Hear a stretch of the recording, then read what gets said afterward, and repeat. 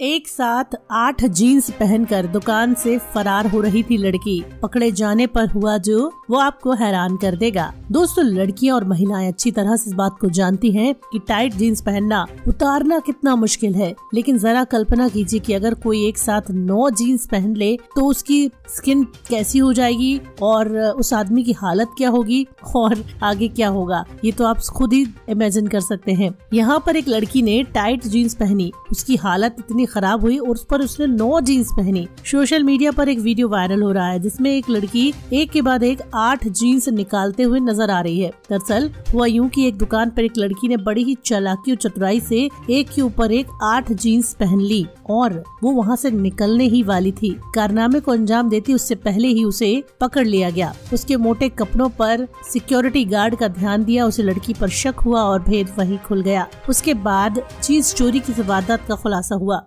ये घटना कहाँ की है? ये बात तो सामने नहीं आई है, लेकिन ये माना जा रहा है कि घटना वेनेजुएला के किसी स्थान की है। ये वीडियो बहुत तेज़ी से वायरल हुआ। लड़की वॉशरूम में जाकर एक के बाद एक आठ जीन्स निकालते हुए नज़र आई। जीन्स को निकालते हुए वह अपने इनर पैंट्स भी दिखाती है, ताकि साबित हो जाए कि उसने जीन्स निकाल दी है। तो दोस्तों, क्या कहेंगे आप इस तरह की खबरों के बारे में? कॉमेंट में ज़रूर बताएँ। धन्यवाद।